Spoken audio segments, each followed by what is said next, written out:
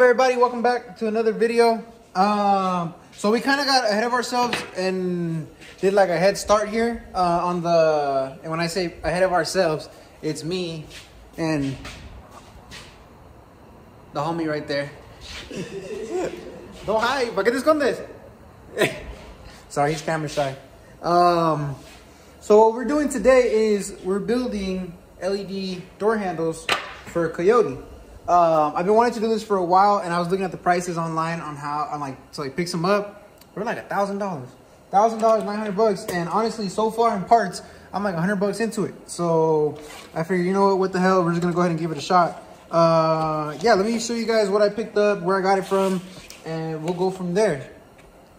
So check it out. Here we are at the tire shop in Fort Collins. Uh, these are the LED lights I went with. Profile Performance Pivot Accents. These are six inch, six inch LED strips right here. And they come with like the wire and let me see if I can open this with one hand. Uh, and here's the other wiring. And these are switchbacks. So hopefully when I turn on the, if I can wire them up right and everything, when I turn on the turn signal, it'll it'll switch to amber, but they're white most of the time. And then here's the door handle. I picked these up off car parts, I believe. So here they are. They come apart. It just literally has two pins right there and right there, which on the door handle goes through there and there. You take it off and then thankfully, oh shit, I almost broke that. And then thankfully on these door handles, you can take off the top part so you're not cutting with all that. You take off the top part and you kind of just measure the light out. What I did was I put it on a sheet of paper. Um, Uh, let me see if I still have it over here. Damn, I think I lost it. Um, but it's easy. Oh no, right here. So right here, I literally just traced the light out on a sheet of paper and then traced it out right here. And then used a little Dremel tool just to cut it out. If you can see, I went a little bit, oh damn. I cut the actual handle a little bit shorter than what the light actually is, like the length of the light, just so that like once I put the light in there, I can maybe like glue it right here on the sides, on the inside of the handle to help it stay stay on. But dang, my hands look ugly. But yeah, so that's how far we've made it. Um, and then right now we're just using some little sandpaper just to sand it down, you know, clean up the edges. Um, and then let me show you guys a little Dremel setup. So I use this one to cut. This has like little teeth at the end of it. I use this one to cut, and then I use this one kind of like to shape it out on the edges. And this one too. So, yeah.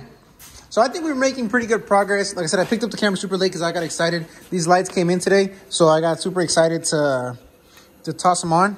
So yeah, like I said, I saw, oh, and then, like I said, these, you can either get it off their website or I ordered them off of Morimoto, uh, which is the same brand of Coyote's headlights. So I figured, you know, they're a really good brand. And then right here, I was just looking up how to take apart this door handle.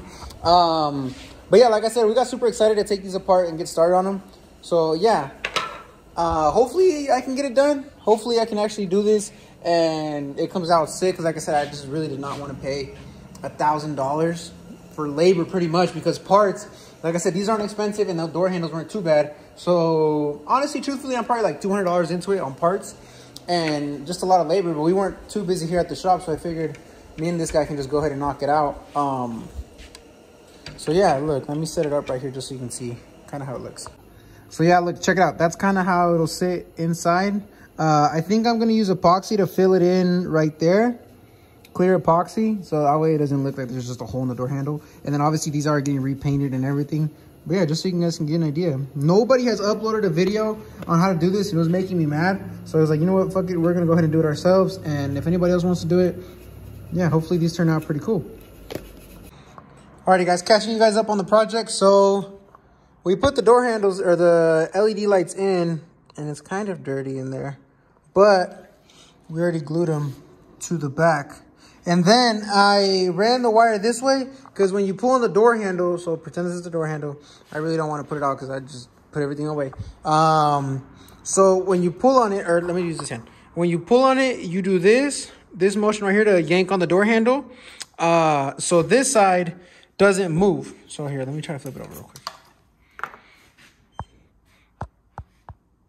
So look. So when you grab it, when you're doing this, you do this right here. So I didn't want any exposed wires to be right here. So that's why I ran the wire through over here. But there it is. I'll sand it down because like I said, these are getting painted to color match the truck, obviously, because I mean, it'd be stupid to do all this and not color match them. And then we glued them to the back with this stuff. My uncle had this laying around, so I'm guessing he picked it up at like Home Depot or something. So it seems pretty strong. It's super strong. It turns like into like a rubbery kind of feel, but that light isn't going anywhere. And I also wanted to make sure it was sealed all around the edges. That way, when I put the epoxy over it, the epoxy doesn't like come through. But yeah, let me just, like I said, I just wanted to catch you guys up on what we're doing. I'll probably put a little bit more glue right there on the corner. But yeah, they did get a little bit dirty. Like I said, uh, the sanding process did get the rubber dirty, but honestly, it's whatever. I'm not tripping. So that's from the inside. So it's fine. I'll probably just blow it off and call it a day. Um, but yeah, so we're gonna continue sanding down here a bit, and then probably next day would be to pour that epoxy over it, and then I probably won't paint them until tomorrow. Cool. So this is the epoxy that Sir Rick is letting us use, I guess, because he does a lot of epoxy projects, and we're mixing it, the epoxy with the hardener. That way we can put it over the door handles. So yeah, we're just recommending go side by side. That way you don't get any bubbles in it again, this is my first time ever doing this, so I do not you know. You got to do it until it turns clear. Until it, it, turns it gets cloudy. So that right there is like the like a hazy kind of thing. Yeah. So until it turns clear. Okay. Motherfucker.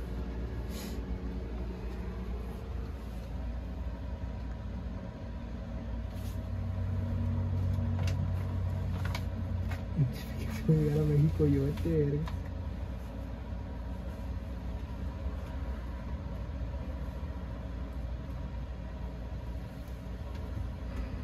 Dun, dun, dun,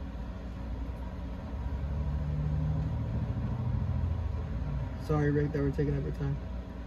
No, you're not taking up my time. I'm just angry. Hey, at least we helped you some. We helped you realize that you're the thing. Yeah, Otherwise, I'd have realized it this morning or tomorrow morning.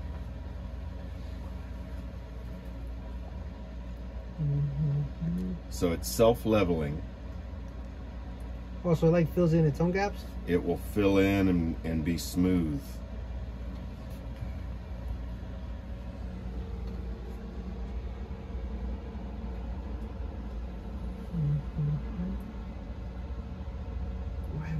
Shaking so much. I'm like so nervous.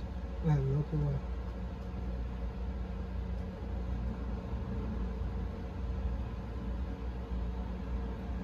Ah, fuck me. Mm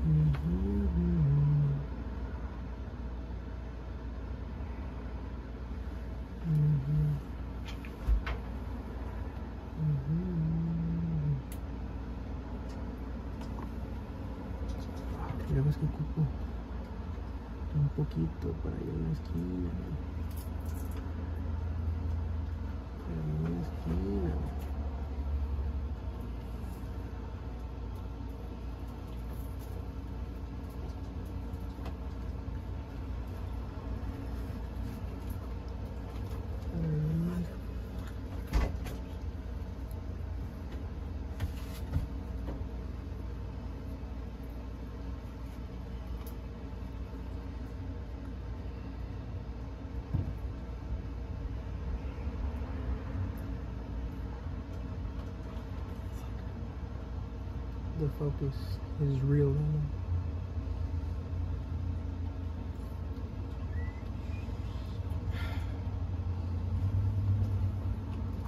Alrighty guys, so as you guys just saw, we poured the epoxy over it, got a little bit on the edge but that's alright, it's gonna be sanded.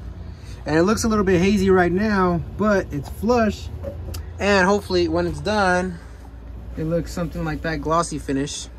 So yeah, we're gonna leave them in here overnight just because Rick leaves the heater on, and in my shop I don't. But yeah, like just so you guys can get an idea of how they look. Hopefully, these turn out good tomorrow. We'll check back in tomorrow. Later, y'all. All right, what's up, y'all?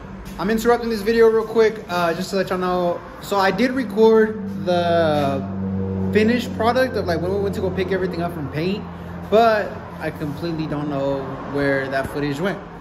So I'm gonna skip straight to the like once they were on the truck because I recorded us putting it on, wiring everything. I wired them up to the mirrors since my mirrors have like the turn signal and the LED in it. So I figured I can just wire the door handles to the mirror directly, and yeah, it worked out good. Uh, like I said, unfortunately, all that footage got lost. I don't know where it's at.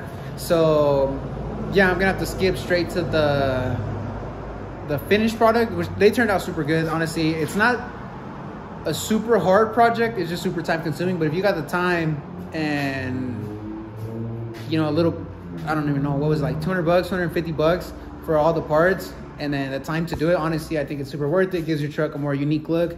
Um, and yeah, you save yourself some money because yeah, like new, they're like for two door handles. I got quoted like nine hundred dollars.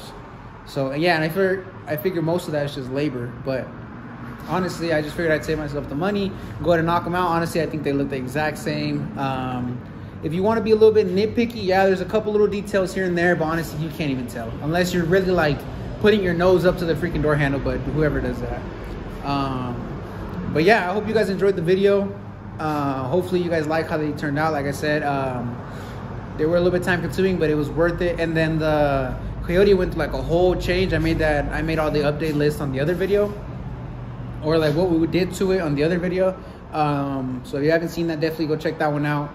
Uh, yeah, no, we haven't stopped or anything. The Can-Am just got a bunch of upgrades. Uh, unfortunately, I didn't get to record it either because the way work is, I've just stayed super busy, so I had to go drop it off.